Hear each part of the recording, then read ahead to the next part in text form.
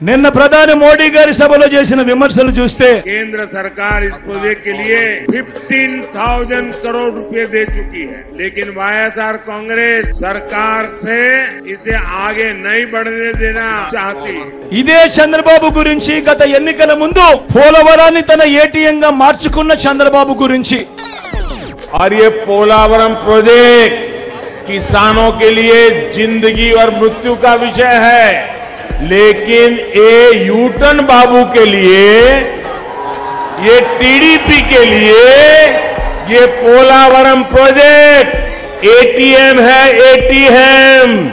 అత్యంత అవినీతి పరుడని చెప్పిన నోటితోనే ఇదే మోడీ గారు మళ్ళీ చంద్రబాబును తమ ఎన్డీఏ గూటికి వచ్చాడు కాబట్టి ఇంతకంటే గొప్పవాడు లేడు అని చెప్పి ఇవాళ చెప్తా ఉన్నాడు అని అంటే రాజకీయాలన్నది ఏ స్థాయికి దిగజారిపోయాయో ఒక్కసారి గమనించమని అడుగుతా ఉన్నా